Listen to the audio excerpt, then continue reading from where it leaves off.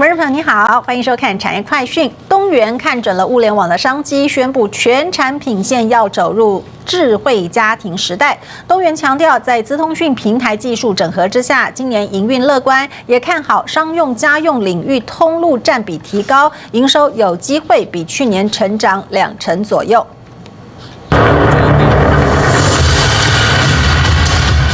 开场绚丽舞台秀吸引在场贵宾目光，更让东元记者会上带着浓浓科技味。董事长刘兆凯、总经理邱纯之手上拿着平板、手机，宣示今年各项家电产品将全面进入云端控制时代。物联网这个事情啊，我觉得我们最有希望，是因为我们提出来的两个啊，一个就是可以节能节费，这个对那个大家比较有有直接的冲击。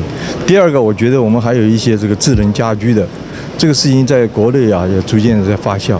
刘兆凯表示，把握物联网发展带来的智慧家庭趋势，对今年营运相当乐观。各项家电透过 Android 或是 iOS 两大系统与无线网络串联，轻松达成节能目标，有机会催化买气，创造营收比去年增加一到两成空间。总经理邱纯之强调，在家用商用市场上，通路销售数字要力盼续创新高。不管是在商用空调或者是我们的这个家用空调，我们都看到了超过十趴以上的这个成长。所以我也希望在这个地方，我们能够这个迎向二零一五年，呃，我们的这个营收的这个新高啊。东元去年第四季营收在小马达需求支撑下，营收上看一百三十亿元，衰退幅度收敛在五个百分点以内。全年 EPS 渴望守住两元水准，优于前年。随着菲律宾特种电动车车队管理系统以及收费连接将进行实地测试，高达百亿元以上的巴士三轮车汰换订单也将在第二季起开始贡献海外收益。林志远、陈维佑台北报道。